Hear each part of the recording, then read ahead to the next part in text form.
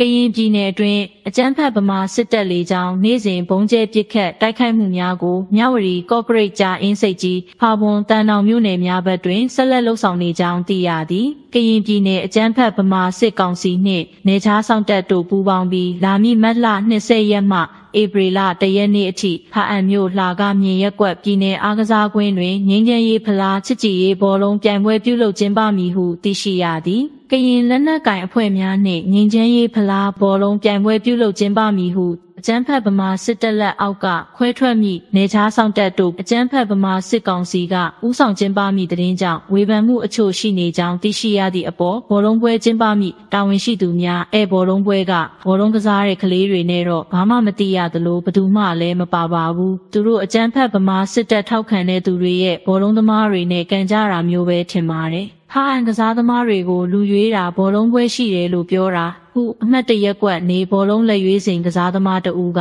ပြောသည်အဆိုပါဘောလုံးပွဲပြုလုပ်မိအပေါ်ဖားအံမြို့ခံများစိတ်ဝင်စားမှုမရှိဘဲလက်တလောဖားအံမြို့ပေါ်ရက်ကွက်နှင့်ကျင်းနယ်များတွင်စစ်တပ်ထောက်ခံသူများနှင့်အကြမ်းဖက်ဗမာစစ်ကောင်စီခန့်ရက်ကွက်အုပ်ချုပ်ရေးမှုများစစ်သားစုဆောင်သည့်စရင်ကောက်ယူမှုများကြောင့်သားသမီးများစစ်မှုထမ်းရမည်ကိုစိုးရိမ်ပူပန်မှုများမြင့်တက်နေကြောင်းသိရှိရသည် အဆိုပါငင်းချင်းရေးဖလားဘောလုံးပြိုင်ပွဲတွင်ကရင်ပြည်နယ်အတွင်းအပြည့်ရကရင်လက်နက်ကင်အဖွဲ့ဖြစ်သောဒီမိုကရေစီအကျိုးပြုကရင်တပ်မတော်နှင့်ကရင်ငင်းချင်းရေးကောင်စီအဖွဲ့အပြင်အကြမ်းဖက်ဗမာစစ်တပ်လက်အောက်မှကရင်အမျိုးသားတပ်မတော်ဟုအမည်ပြောင်းခွဲထွက်မိဟုသတင်းထွက်နေသည့်ကရင်နေချားဆောင်တပ်ဖွဲ့နှင့်ကရင်အမျိုးသားအစည်းအရုံးဖားအံခရိုင်ဘောလုံးအသင်းများကိုစားပြုပါဝင်ရှင်ပြိုင်ကြမည်ဟုမြို့အတွင်းစိုက်ထူထားသောပိုစတာဆိုင်းဘုတ်တွင်ဖော်ပြထားသည် ဖန်အံမြို့ခံတဦးကအခုကရင်လက်နက်ကင်အဖွဲ့ပေါင်းစုံနဲ့ကရင်ပြည်နယ်အကြမ်းဖက်ဗမာစစ်ကောင်စီဘောလုံးအသင်းနဲ့ချစ်ကြည်ရေးဘောလုံးကံမယ်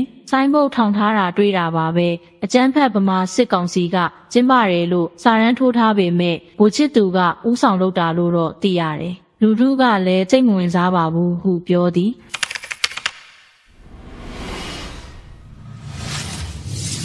ထိုင်းမြန်မာနယ်စပ်မြဝတီမြို့တောင်ဘက်မဲထော်တလေးကျေးနယ်ရှိတရုတ်ကာစီနိုမြို့ကွက်တစ်နေရာမှာလူကုန်ကူးခံထားရသူတရုတ်နိုင်ငံသား150ဦးကိုနယ်စပ်ကုံသွယ်ရေးတရားအမှတ်နှစ်တွင်အကြမ်းဖက်ဗမာစစ်ကောင်စီလူဝင်မှုကြီးကြပ်ရေးဌာနကမဲဆောက်အာဏာပိုင်များဘက်ကိုလွှဲပြောင်းပေးခဲ့သေးသည်ရွှေကုတ်ကိုမျိုးရှိအွန်လိုင်းငွေလိမ်လုပ်ငန်းနှင့်ကာစီနိုလုပ်ငန်းကုမ္ပဏီများစုသည် လုပ်ငန်းရပ်တန့်မှုနေရာပြောင်းရွှေ့မှုများကြောင့်တချို့တရုတ်လူမျိုးများသည် လာအိုဗီယက်နမ်ကမ္ဘောဒီးယားဘက်သို့ပြောင်းရွှေ့လောက်ကင်သွားကြကြောင်းလည်းရင်းလုပ်ငန်းနှင့်နှီးဆက်သူများကပြောသည်ကရင်ပြည်နယ်မြဝတီမြို့မြောက်ဘက်ခြမ်းရွှေကုတ်ကိုမြို့ရှိတရုတ်နိုင်ငံသားများဦးစီးလောက်ကင်နေသည့်အွန်လိုင်းငွေလိမ်လုပ်ငန်းအများစုကိုမြို့ပြည်နေရာများနှင့်မြဝတီမြို့ဘက်တွင်ပြောင်းရွှေ့လောက်ကင်နေကြဒေသခံတရင်ရင်းမြစ်ထံမှသိရသည်ရွှေကုတ်ကိုမှာတရုတ်တွေမရှိတော့ဘူးမြန်မာတရုတ်တွေလည်းမရှိဘူးတိုက်တွေမြို့ပြင်မှာစောင့်နေတာတွေ့တယ် ရွှေကုတ်ကိုမြို့ကိုထိန်းချုပ်ထားသည့်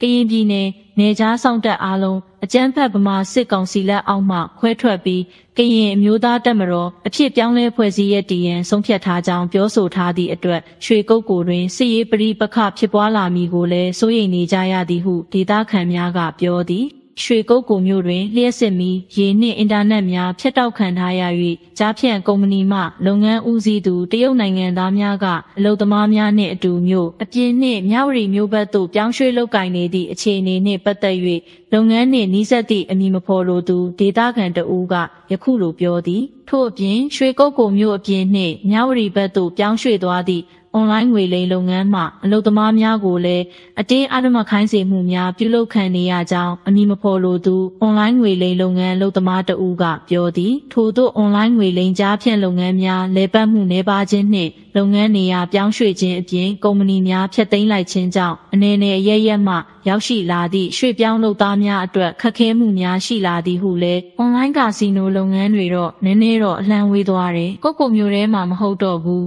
သူတို့ကမြို့ပြင်ဘက်ကိုပြန်ရွှေ့လိုက်တယ် မြောက်ရီဘက်ကိုလည်းရွှေ့သွားကြတာကုတ်ကူမှာလုပ်ငန်းကမကုံတကုံပဲကာစီနိုအသေးတွေလောက်ပဲကျန်တော့တယ်ကျန်တာကမြောက်ရီဘက်နဲ့မြို့အပြင်ဘက်ကိုရောက်ကုန်ပြီးဒီကကောင်လေးတွေအလုတ်သွားလုပ်ကြတယ်ဟုဒေတာခန်ကပြောသည်ရွှေကုတ်ကူမြို့တွင်အွန်လိုင်းငွေလိမ်လုပ်ငန်းအများစုရန်နာထားလိုက်တော့လဲမြို့အတွင်းမှာအထက်မြင့်အဆောက်အဦများတိုးချဲ့ဆောက်လုပ်နေဆဲဖြစ်ပြီးစမှုဆောင်လုပ်ငန်းနှင့်အထည်ချုပ်ရုံများအဖြစ်ပြန်လည်ပြုလုပ်သွားမည်ဟုလည်းသတင်းများထွက်ပေါ်လျက်ရှိသည်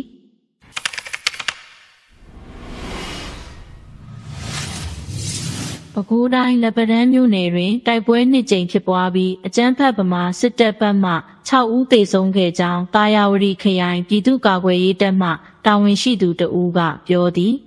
မတ်လ18ရက်နေ့နနက်ပိုင်းတွင်လက်ပတန်းမြို့နယ်နှစ်ပြော ရုံးရွာနှင့်ကျွန်းတော်ရွာအကြားစစ်ကြောင်းထိုးလာသောအကြမ်းဖက်စစ်ကောင်စီတပ်သားများနှင့်တာယာဝတီကလုံတပ်ဖွဲ့တို့ထိတွေ့တိုက်ပွဲဖြစ်ပွားခဲ့ပြီးအကြမ်းဖက်စစ်တပ်ဘက်မှတဦးသေဆုံးခဲ့ကြောင်းသိရသည်။ မွန်းလွဲပိုင်းတွင်အကြမ်းဖက်ဗမာစစ်တပ်နှင့်တော်လန်ရေးရဲဘော်များထပ်မံထိတွေ့တိုက်ပွဲဖြစ်ပွားခဲ့ပြီးအကြမ်းဖက်ဗမာစစ်ကောင်စီတပ်သား9ဦးသေဆုံးခဲ့ကြောင်းတိုက်ခိုက်မှုကိုတာယာဝတီကလုံတပ်ဖွဲ့နှင့်လက်ပတ်တန်းရွှေတန်းမြေအဖွဲ့ကပူးပေါင်းလှုပ်ဆောင်ခဲ့ကြောင်းသိရှိရသည်မနေ့ကတိုက်ပွဲထပ်ဖြစ်တာအကြမ်းဖက်ဗမာစစ်ကောင်စီ၄ဦးတန်ရာရတယ်။အကြမ်းဖက်ဗမာစစ်ကောင်စီတေတာကြားတာကတော့16កောင်လို့ကြားတာ6កောင်ပဲအတီးပြုတ်နိုင်တယ်။ အဲအကျန်းဖက်ဗမာစစ်ကောင်စီစစ်ကြောင်းကရိုးမအဆက်မှာရှိသေးတယ်။ထပ်ပြီးတော့တိုက်ပွဲဖြစ်လာမဲ့အနေထားပါတည်တဲ့အထဲမှာပြူတွေလဲပါတယ်ဟုတာယာဝတီခရိုင်ပြည်သူ့ကာကွယ်ရေးတပ်မှတာဝန်ရှိသူတဦးကပြောဆိုသည်အဆိုပါတိုက်ခိုက်မှုကိုတာယာဝတီကလုံတပ်ဖွဲ့က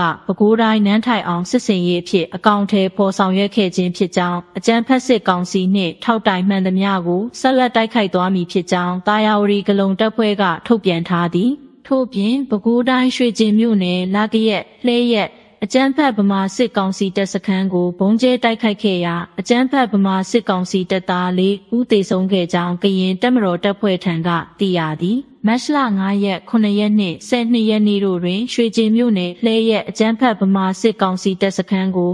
120မမဘုံဒီ3လုံး81မမဘုံဒီ4လုံး60မမဘုံဒီ8လုံး40မမဘုံကဒီ2လုံးနှင့်မီးလောင်ဘုံ3လုံးတို့ကို၄ကြိမ်ဘုံကျဲတိုက်ခိုက်ခဲ့ရာအကျန်းဖတ်ဗမာစစ်ကောင်စီတပ်သား4ဦးသေဆုံးခဲ့ပြီး3ဦးဒဏ်ရာရရှိခဲ့ကြောင်းသိရသည် အဆိုပါတိုက်ခိုက်မှုကိုကရင်အမျိုးသားလူမျိုးရေးတပ်မတော်ပူးပေါင်းတပ်ဖွဲ့တို့ကတိုက်ခိုက်ခဲ့ခြင်းဖြစ်ပြီးတော်လန်ရေးပူးပေါင်းတပ်ဖွဲ့ဝင်များအထိအခိုက်မရှိအောင်မြင်စွာဆုတ်ခွာနိုင်ခဲ့ကြောင်းသိရသည်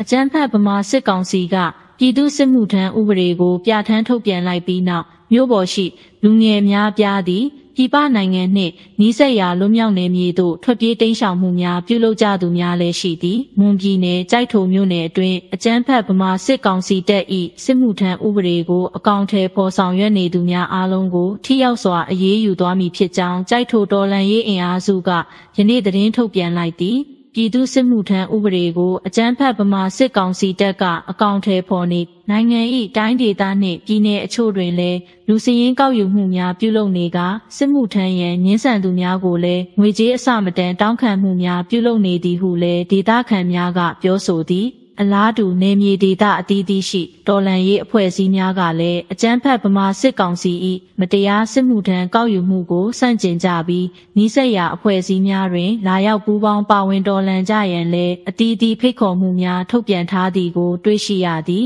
အကြမ်းဖက်ဗမာစစ်ကောင်စီကမြို့နယ်အတွင်းရှိစစ်မှုထမ်းရန်အတွက်တရွာလျင်လူငယ်ဆက်ဦးစီစရင်ပေးစုဆောင်ရမည်ဟုညွှန်ကြားခဲ့ခြင်းကိုဆယ်အိမ်မှုရာအိမ်မှုများအနေဖြင့်ပူးပေါင်းလှုပ်ဆောင်ပါက စစ်ရေးပြစ်မှတ်အဖြစ်သတ်မှတ်ပြီးအရေးယူသွားမည်ဟုကြိုက်ထိုတော်လန်ရေးအင်အားစုကတာဝန်ရှိသူတဦးကပြောသည်အဲ့ဒီလိုလိုက်ဆွဲဖို့ပါဝင်ကူညီပေးသူမြည်သူကိုမဆိုစစ်ရေးပြစ်မှတ်အဖြစ်သတ်မှတ်ပြီးထိထိရောက်ရောက်အရေးယူသွားမှာပါလူငယ်တချို့ပါသွားတယ်လို့ကြားသိရပေမဲ့အတိမပြုတ်နိုင်ပါဘူးဟုပြောသည်